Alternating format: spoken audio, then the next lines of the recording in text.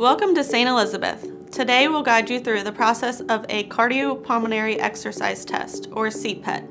A CPET test is a specialized type of stress test or exercise test that measures your exercise ability. A therapist will capture information about your heart and lungs to understand if the body's response to exercise is normal or abnormal. Once you arrive, please check in and wait in our designated waiting area. Our experienced therapist will greet you at your scheduled time, ready to guide you through the CPET process. When you are brought back, you'll quickly be measured for height to ensure we have accurate test results.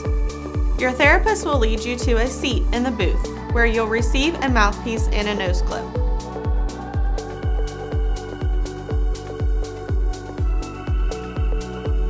You will then blow into the mouthpiece as it measures how much air you can breathe in and out. After that, you will move to an exercise bike. Your therapist will attach some small sticky pads to your body and place a pulse oximeter on your finger. These will help keep track of your heart and how much oxygen is in your blood. Once connected to the monitor, you're all set to start exercising.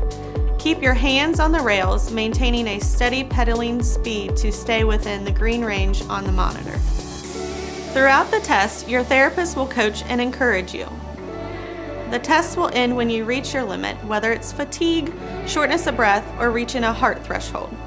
You will continue to cycle the bike as a part of a cool down period.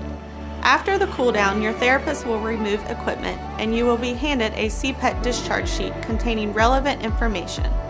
Finally, the therapist will assist you as you leave the testing area. Thank you for choosing St. Elizabeth.